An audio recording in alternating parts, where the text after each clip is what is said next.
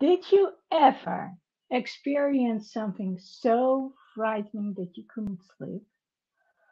Well, if it keeps haunting you and you become scared and are experiencing nightmares and panic attacks during the day and the night, and you can't sleep anymore, then you know that you're not just talking about trauma, but you are probably talking about PTSD. So today we are going to talk about the insights and ideas around trauma. And well, trauma basically is something happening, for instance, to the body. So trauma to the body to the body, that's for instance what I've had when I twisted my ankle. The mere fact that I twist my ankle uh, related in trauma. I had a torn ligament and a bone shifted, and later on, I had a similar trauma to my knee, and and now I've got a, uh partially ruptured ligament, as in, in the front part of my knee, and I also have the same thing uh, when it comes to the kneecap itself. Well, it's not the kneecap; it's the meniscus, so it's the uh, it's where the cartilage is. So today we are going to talk about trauma and especially trauma which remains there for a longer part of your life. Well, I've looked some things up um, because I wanted to make sure that everyone who is watching this can understand what trauma is and what PTSD is. So, like I said, trauma can be something physical. Physical. So it's like um, something disruptive. That's the easiest way to um, to explain it, and it can be done both. It can happen both mentally and physically. So the first time, the first few times, well, actually, every now and then it still occurs that I got back to that location where I twisted my ankle on a brick. Um, it came back to me what happened. Well, Lee John, let's not. We are here to be um, to be um, respectful to one another, and well, anyone who gets in and isn't and isn't respectful, you simply get blocked. That's the way it is. Okay, so when something happens with major impact and it's a distressing or disturbing experience, that's when we experience trauma. So when we go from trauma to experiencing trauma, then people get an idea of what has happened. So I remember one time that I was driving the car and there were eight little ducks and Mama Duck was there and four little ducks walked with Mama planning to cross the highway and Mama said, "No, let's return." So Mama returned with the four ducks, and the other four ducks walked on. Well, guess what? By the time I stopped my car, um, the four ducks were flying there in front of my tire, and I won't explain what they look like, but you get the idea. By the time I I got to the location where I needed to be, and I I had to move on straight away. The police directed me off the highway. I didn't have any damage because I um, was I I had um, I had stopped in time, but I couldn't say the same thing for the one behind me. And because I always look far ahead, I, I know in time when to hit the brakes. So I usually do it earlier than the one behind me does, and probably earlier than the one before me does. But by the time I I arrived on my destination, I couldn't stop crying because then, you know, all of it got released, all the emotions needed to come out. I believe I, I I I thought about it maybe for a couple of weeks and that was the end of it. You know, every now and then I remember it, but that's about it. When we are talking about people who wake up in the middle of the night and don't dare to get back to sleep again, when we are talking about people who are shaking and are suddenly experiencing like heart palpitations, and mind you, for everybody, this can be different, but they they they are restless 24 7 and they are seeing that one image over and over and over again. Well, then you know this is big trouble. So, when we know people are experiencing trauma, as in trauma which won't just go away, the best way to help them deal with it is to is to actually handle it straight away. Now here's the thing. If you don't have someone who is that quick, they make a dis- dis- a distinction. So there's the distinction between the people who need it straight away, and of course the other people who still need it, but they're already sort of overdue. So it doesn't make any difference whether they are treated straight away or not. That's not good, by the way. But waiting lists here are, I believe, well, they are up to nine months. And in reality, it might even be up to over a year, maybe over up to two years. So the lady I normally am with, in with, goes goes so well today. The lady who's usually here with me, Chica Joe, uh, some of you may have noticed it. Um, she she has suffered trauma multiple times. Well, I'll let her explain a little bit about it more. But as a result, she's very tired most of the day, which means that she falls asleep at random times. And this is the thing, and I've talked and worked with multiple people who are experiencing trauma, you know, uh, after a cycle, especially when you get into the deep sleep, that's when all the emotions come to the surface. And it doesn't necessarily mean that they know what is going on. They might not even remember it. But the result is, is that they wake up and they cannot sleep anymore. The choice is easily made between not sleeping and having to sleep, waking up completely distressed and in panic. Well, no one wants to wake up in panic. And so at some point, it's like, I can't sleep anymore because they, they won't get into that deep sleep because they know what's going to happen. And your brain has this awesome way of protecting you.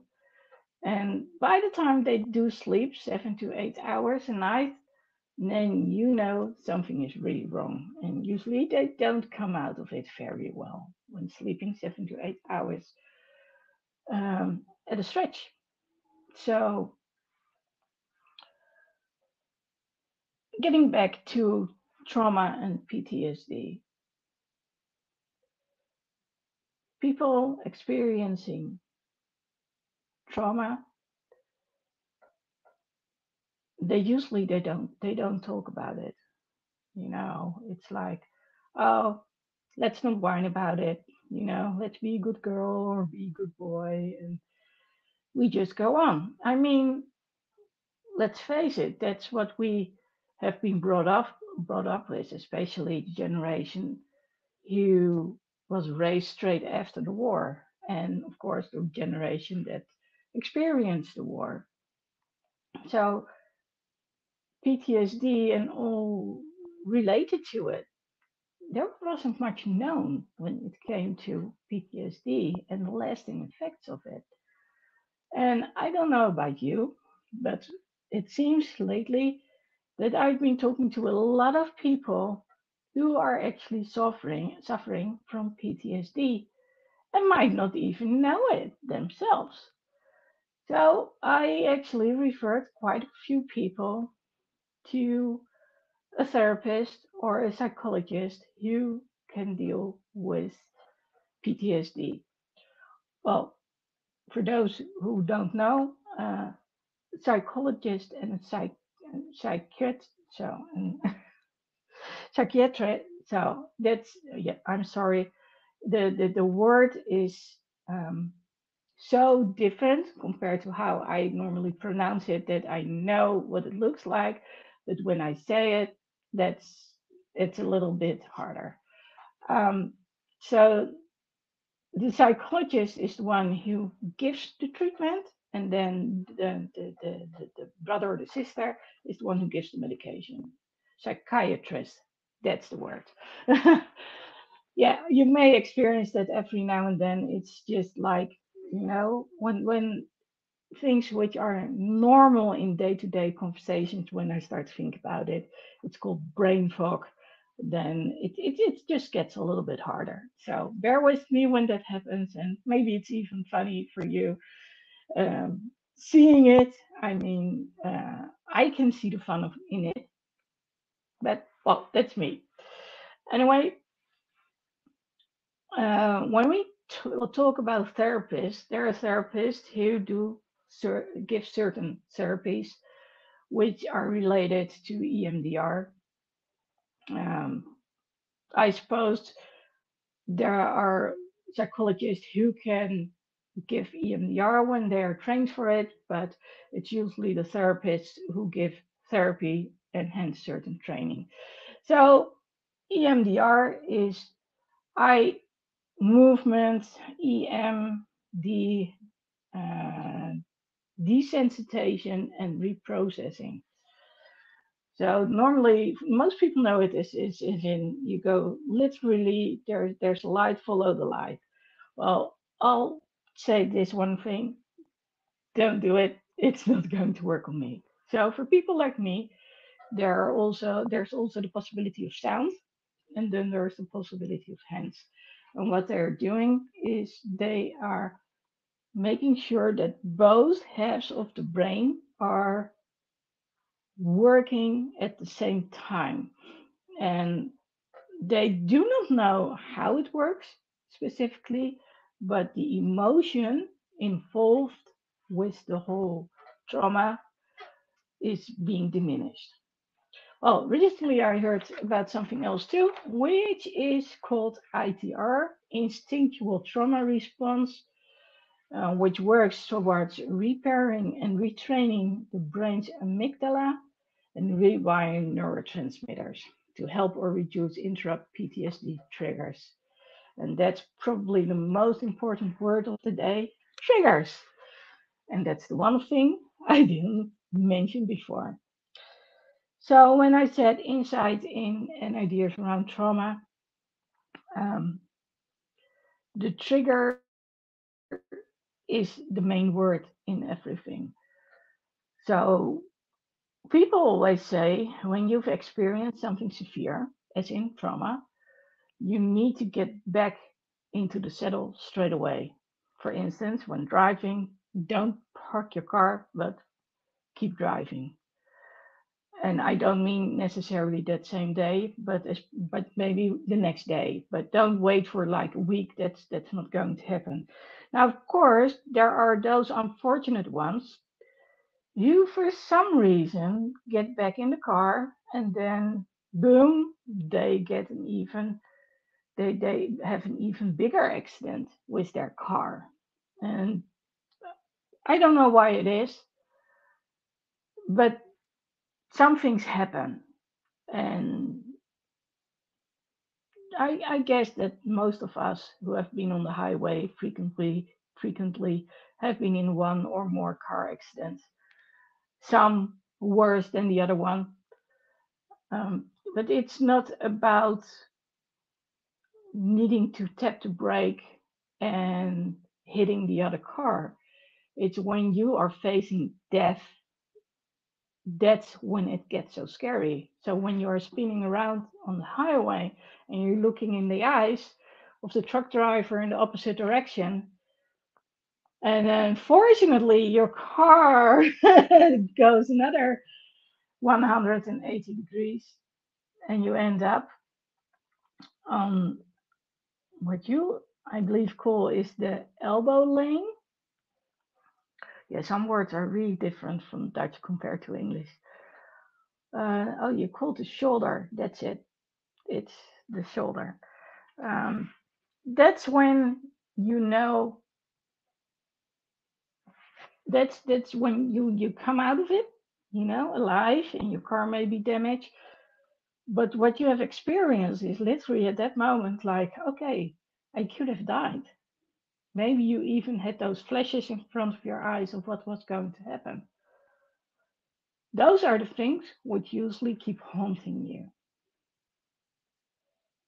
And that's why it's so important to make a distinction between one and the other.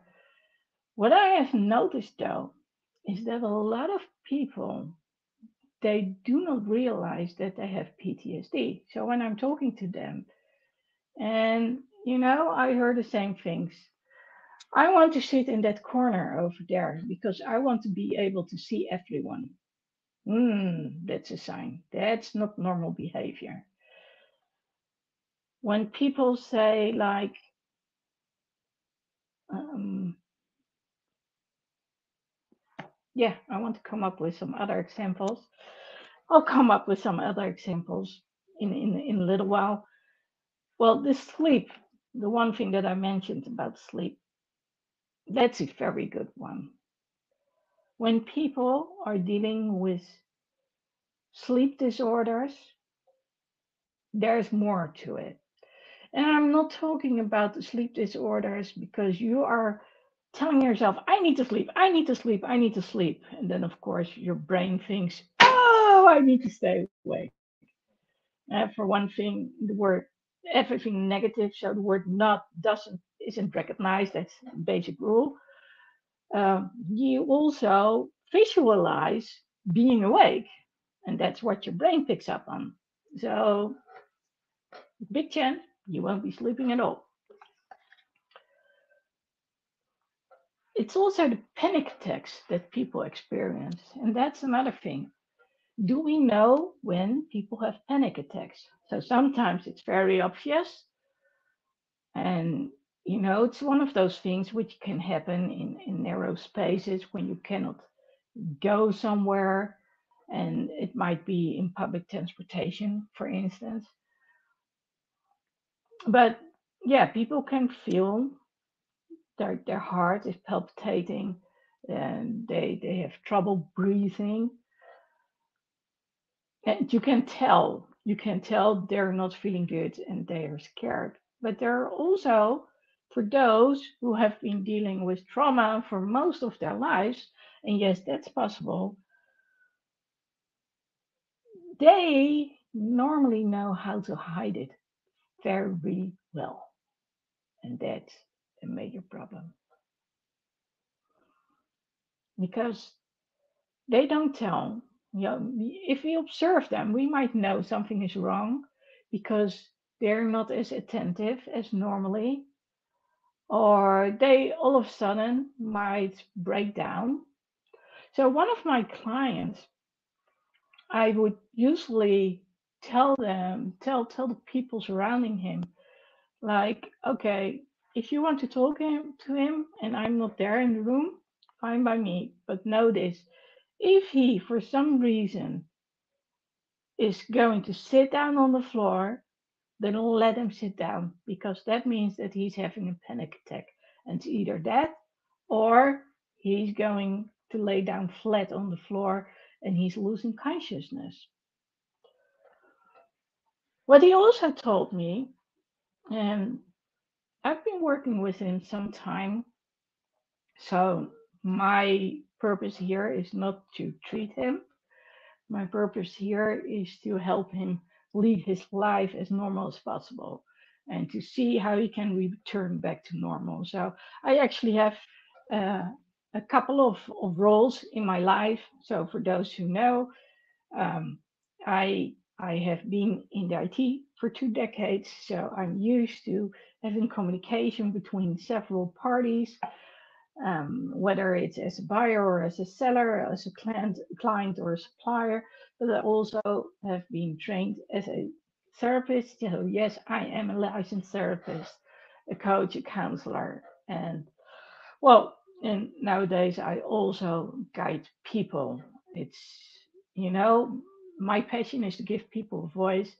On when they cannot voice themselves, I might step in, and sometimes I do so by actually getting on the phone for people and you know maybe even talking between uh, father and daughter or between say uh, a local company and a client.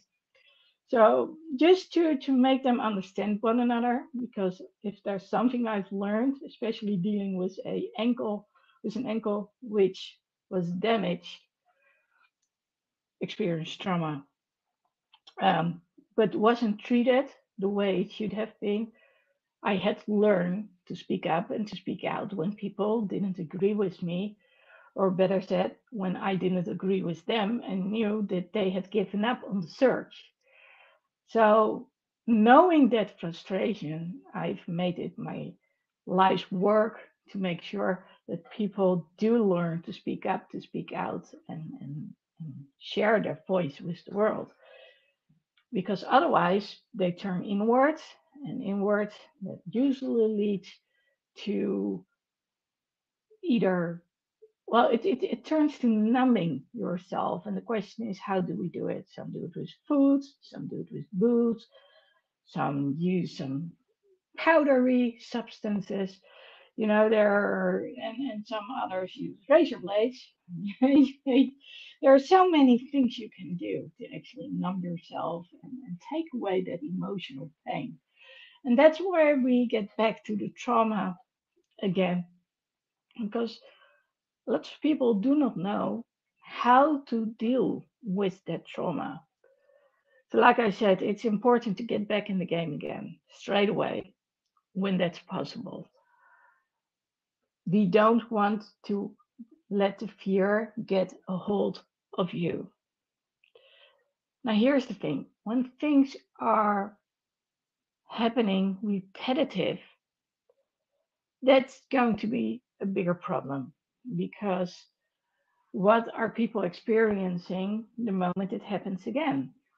So, here's the difference. So, when I go to the physical therapist, they use, and I go there twice a week, they husband and wife usually rearrange my the bones in my wrist. And i can tell you there are a lot of little bones in here. And it can hurt immensely. Well um, this is the thing. I always forget what it feels like. It's the same when they are doing uh, when when they are working on my feet you know and something happens for instance with a toenail or it's the same with having un, un, undergone surgery.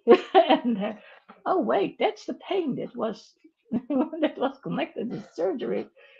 I always forget it. I don't know about you but th- those are things that i tend to forget. I tend to forget what pain is like. And that's why they also talk about pain and chronic pain. So chr- chronic pain is like hardwired in your brain and you feel it even when the cause of the pain isn't there and I guess that's to a degree a sort of good comparison with people suffering from uh, post traumatic stress disorder, because that's what PTSD is. Uh, sometimes they talk about PTSS instead of disorder, they say syn- syndrome. Um, when it keeps popping up, when you keep seeing what has happened, and no matter what you do, you cannot get away from it and it's so ever present that it literally blocks everything you're doing then you need treatment.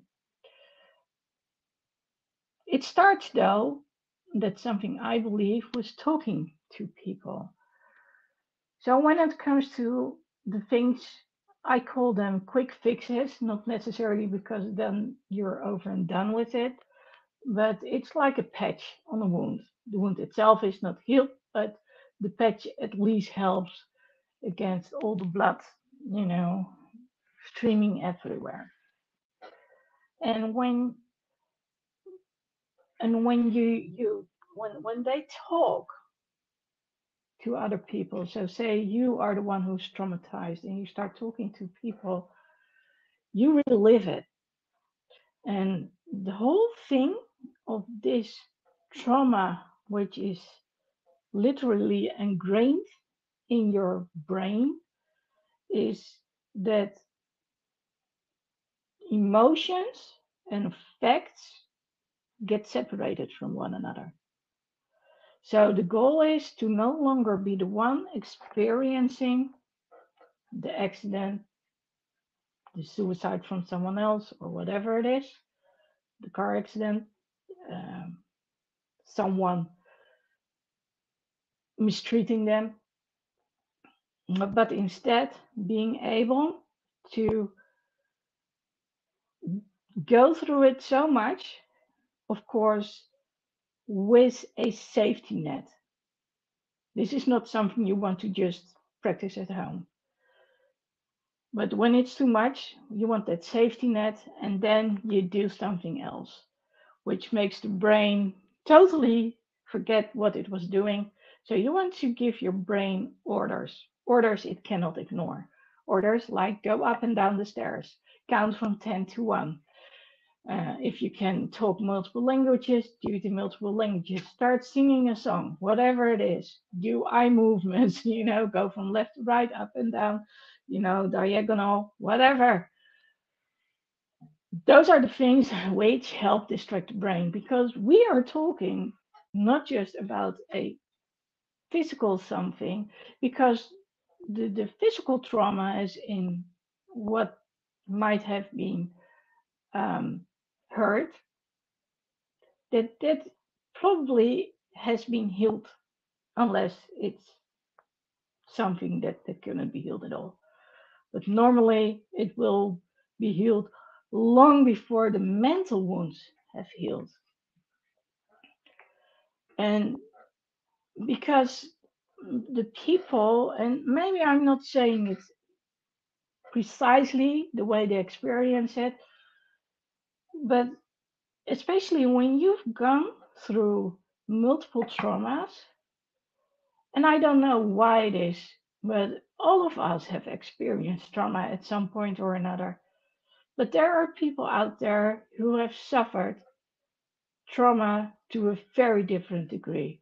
And trauma can be being bullied at school, not once, but multiple years on end. Um, trauma could have been that you, as a little kid, had to take care of one or both your parents.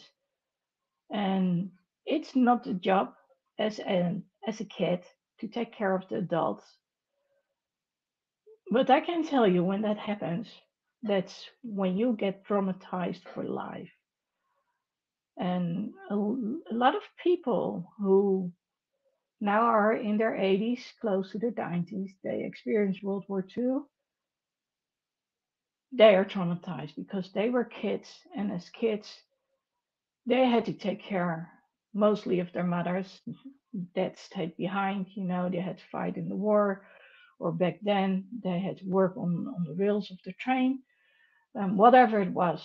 And that's why my heart breaks for the people from the Ukraine because they are actually being traumatized right now. I mean, just imagine getting back in your home, in your house, and it's missing walls and all the memories. And things are broken. It's and basically everything you had isn't worth anything anymore. But of course, it can even get even worse, and that's when you have to flee your country. And it can get even worse when young girls and women get taken. And I'm not going to say what's going to happen next, but you can probably imagine that. And there's a word for it. And the first word you know, and the second word is trafficking. So that means something is happening over and over and over again. And what the brain does is trying to come up with a coping mechanism. So I'm getting back to the triggers. Something happens, you see someone coming, the guy is scary or the woman is scary, and you're like, oh my God, no. And instantly you want to go elsewhere. Well, that's usually a trigger, and to the trigger, there's a mind there, there's a, a response from the brain. And you know, like we have the fight, flight, or freeze reaction. Something similar happens in the brain too. There's a survival mechanism, and especially when something happens between the age of zero and seven, and we are not capable of rationalizing it, thinking about it, what's happening. Just imagine that your favorite pet just died and no one told you what had happened. That's an example. And and you keep just keep looking. You keep looking for your pet. You know, the rabbit, Christmas, all that stuff. You keep looking. Where where is it? So if you ever hear a song about Fluffy, the rabbit, and it's Christmas time and it's a Dutch song, then you know what it's about. Uh, by the way, he was called Fluffy, uh, not Fluffy. And Fluffy is from flapping its ears. um,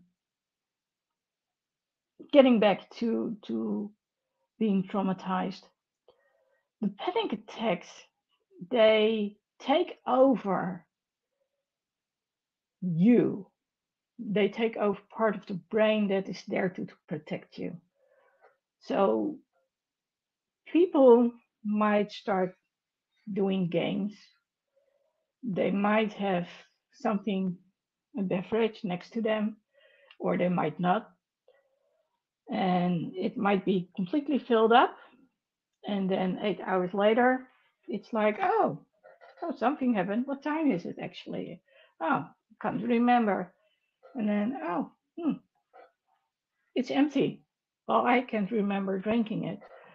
That's because, and this is an extreme example, they had a full blown eight hour panic attack. So the good thing is they were still functioning, even though they weren't present.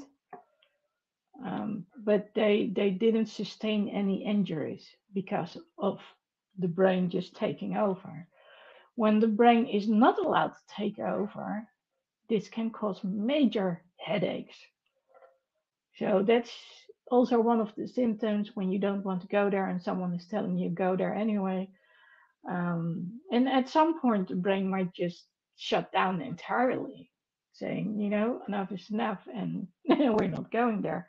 I mean, um, I don't know much about this topic when it comes to split personalities, but what we do know about split personalities, or at least what I do know about split personalities, is they are there to make sure that the main personality, so the one who lives in the body and who's normally there talking to you and me, is actually being shielded from what's going on, the traumatic event, so to call it, and is taking over.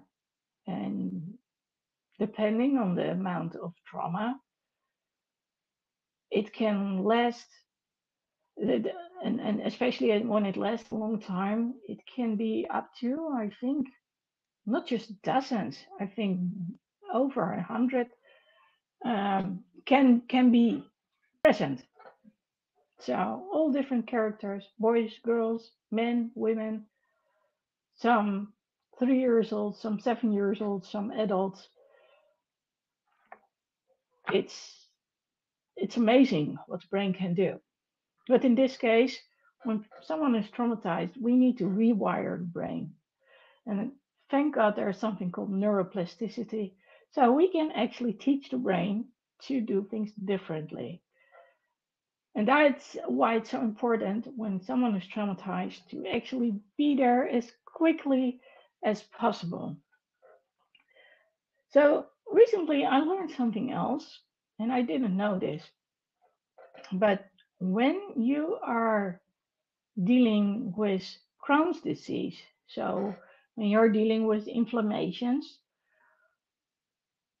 which get triggered by stress, you are not allowed to go to that one event which is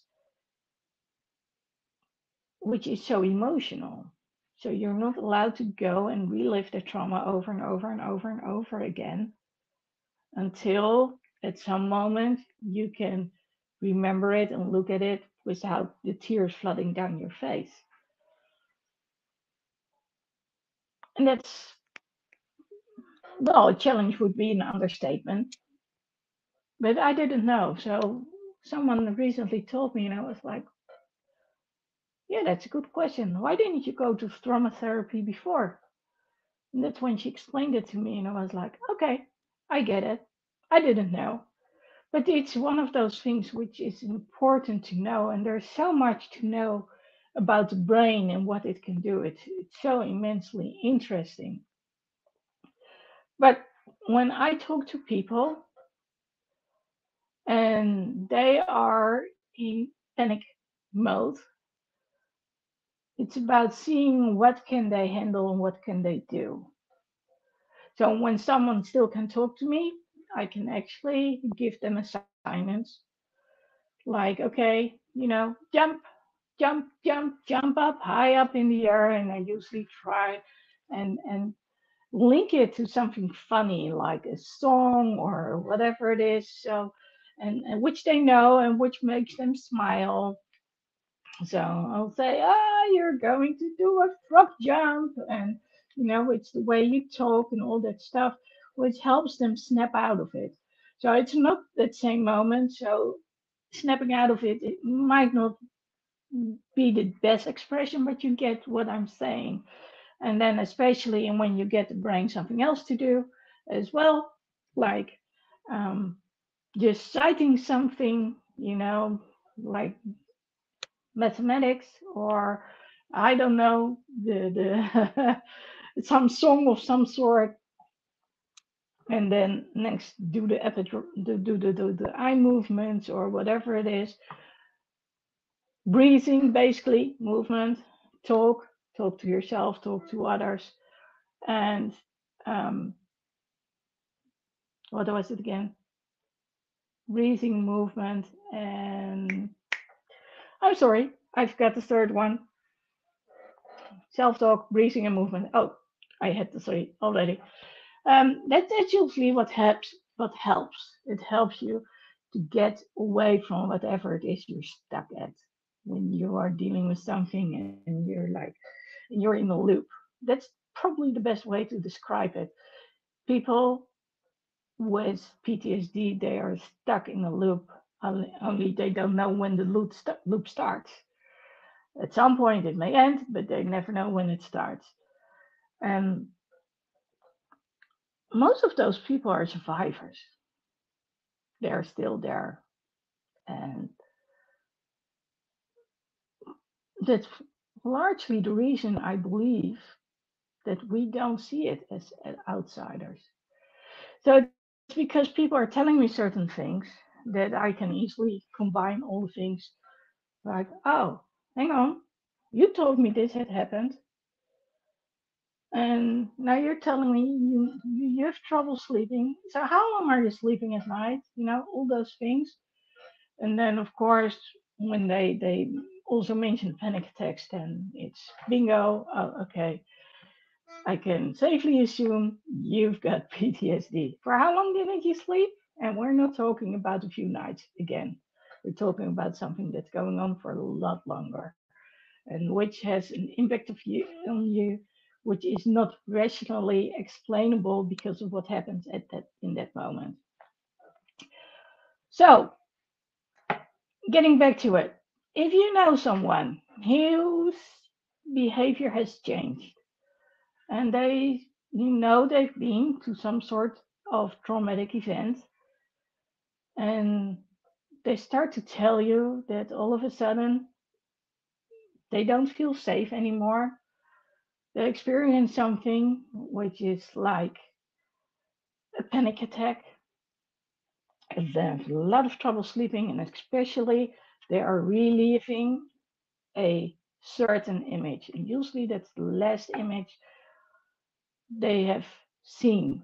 And we can talk about loved ones dying friends partners uh, siblings those are very very traumatic events when it's unexpected when you don't know is it going to happen or is it not going to happen especially those who have threatened to kill themselves more often and who didn't succeed. When they do succeed, I can tell you, and especially when you have been involved every time, that that then something is happening to you. And how much can one take? That's of course the question. How much can you take? But if you do know such a person, make sure they go see a therapist who's specialized in trauma. For some or most people, I don't know, even know if it's for most people, but for a lot of people, EMDR works. Well, I told you about the new thing I heard about, which is ITR, the instinctual trauma response. Um, whatever it is, your brain needs rewiring. In the past few decades, when I became a therapist and a coach, I, I did a lot of hypnotherapy and not the one where you have the clock and it goes from left to right. Um, what it basically does is it, it numbs the brain, it gives it, it a boring task.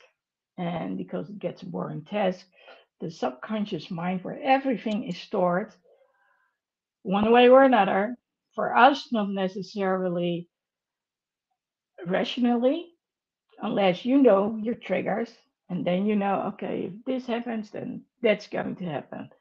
So i know that there are certain triggers for me which can make me go like hey. So one of the things is i don't and i don't know if you see this but i don't like being closed off of the world. I always want to know if people are in near me or not. So when there's someone in the house i trust i'll probably um, put it on both ears. But when I'm alone, I most certainly won't. And, you know, just recently I got these bone conductors. So they're not going in my ear, but they're going uh, just in front of my ear on my temples. Well, it's not even my temples. It's it's literally on the jaw. So it's the, the, the part near near the ear where on the jaw and that's gives me a feeling of safety because I can hear what's going on around me. So when you talk to people and you know something is going on, like I said, get into the therapist. I'm talking about the hypnotherapy again. Uh, the hypnotherapy, what it does is it, it lets you go to that one situation ahead of time you've come up with a safety word.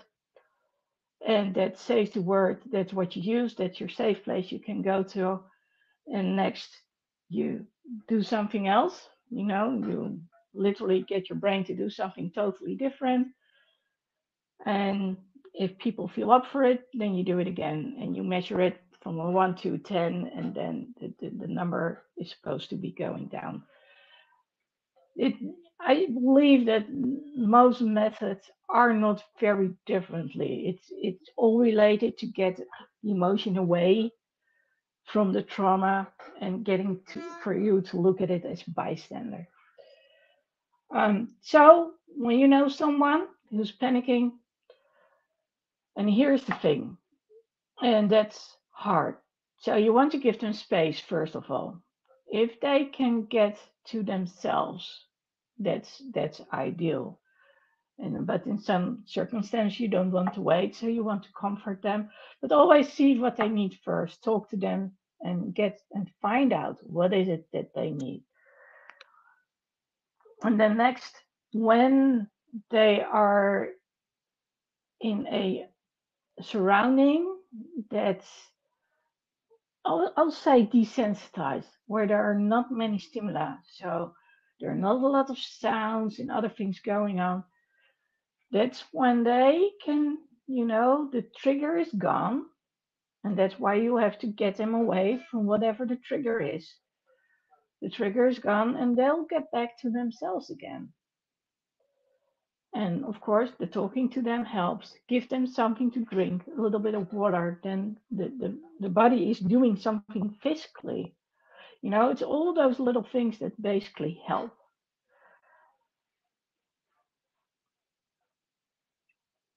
I can actually go on for hours on end because I know so many people who have been traumatized. But I, I want to end with something positive. I've had numerous clients, and usually I'm the one who's at the back end. So I don't do EMDR. I know how it works, but I don't do it because I haven't had enough training to do it. Sometimes I might do something which is linked to hypnotherapy, meditation, uh, especially certain meditation where you use um, different frequencies. So with meditation, you can also do a lot of healing at the same time. Work with intonation, all that stuff. But normally, I'm the one when people have gone there. I'm the safety net because a lot of things can come to the surface, and this is the thing. When you go through therapy to the surface, then usually the days after weeks after, something will pop up, will come to the surface. And if you're alone, that that could be really troublesome. So that's why you always need a safety net, family, friends, and in in my case, case I, I do it too. Um, and you know, people do get better. People do they, they they get some sessions and they're like, oh yeah, yeah, I do feel better. You know, I I wake up and life is good again, and oh, I didn't know that was this was possible. So that's that's the good part of it. And like I said, if you ever get you, you you run into someone who's panicking or is drunk for that matter, and this might be a really weird comparison, but see if you can get them to drink some water. So actually start moving, walking around, do something boring, like getting a glass, being fixated on that glass of water instead of whatever was going on in their mind. And then maybe go sing happy birthday together or whatever it is. And hear some laughter because it is so silly. But it's those little things which at that moment can just snap them out of it, being that band aid. So hopefully, I got you a little bit more insight on what it means. If there are some people who want to share their experiences on here, you're always welcome. Most of the people don't want to um, when they're from the Netherlands. Well, it's midnight here. It's way past midnight. Actually, it's two at night, so they won't come on right now. Um, other people don't want to know because they feel like, oh, people will think I'm so sad and they need to take care of me, and I don't want that. So that's a completely different reaction. And then there's those people who um, want to be there, but they just can't make it, you know, schedules, all that stuff. Um, and that can happen too. But if you want to share your story and talk about it, then please know you're welcome, of course, when you're serious and not like the other one was here before, uh, making being disrespectful. But the most important thing, if you are experiencing trauma and you are reliving nightmares or that, that one moment again and again and again, find a therapist, talk to your family doctor, GP, or whatever you call it, and see if you can get some support. But also talk about it with friends. It's important that in a place where you feel safe, you are allowed and capable of sharing your emotions. And it's okay if the tears come strolling down your face. I mean, they are allowed to stream down your face because it's emotional and no one will make fun of you. But I understand you want to do it in a safe environment. So um, go talk and find someone. Because if you start to use sleep medication for the sake of sleeping and you don't stop it in time, or you use other medication to numb yourself, or you use certain substances, it's going to be hard to get away from that.